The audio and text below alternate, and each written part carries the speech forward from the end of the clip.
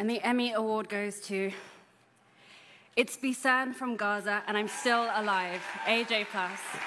AJ Plus reports. Accepting the Emmy, John Lawrence, senior executive producer. The carpet bombings happening, happened in the streets without any warning, and people are killed uh, every single moment. This is a really tough day that, that, that Gaza are uh, uh, going through. They they bombed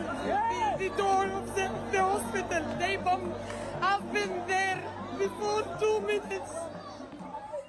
We'd like to thank the Academy for this recognition.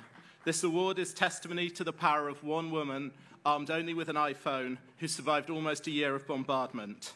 Over 100 Palestinian journalists have been killed in Gaza, including several of our Al Jazeera colleagues.